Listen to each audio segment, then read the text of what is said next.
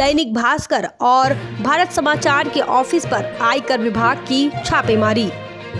Bahujan Samaj party की राष्ट्रीय अध्यक्ष बैन कुमारी मायावती जी ने कहा, यह द्वेषपूर्ण कार्रवाई। इस घटना से 1975 के इमरजेंसी की काली याद आती है। जी हाँ दोस्तों, मैं हूँ इंजीनियर स्नेहा और आप देख रहे हैं द थिंग। अगर आप हमारे चैनल पर नए हैं तो इसे सब्सक्राइब कर लीजिए, साथ ही बेल आइकन को प्रेस कर लीजिए।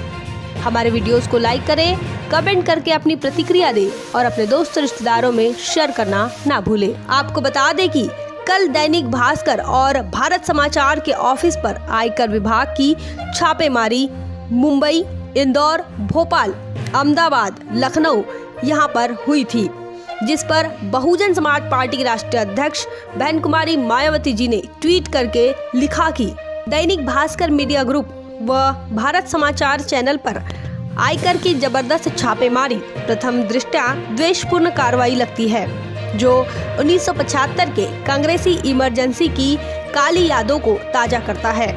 यह अति दुखद व अति निंदनीय। जैसा कि गौरतलब है कि 1975 के इमरजेंसी में मीडिया पर निरंकुश निर्बंध लगाए गए थे। ऐसा ही आज 2021 में हो रहा है।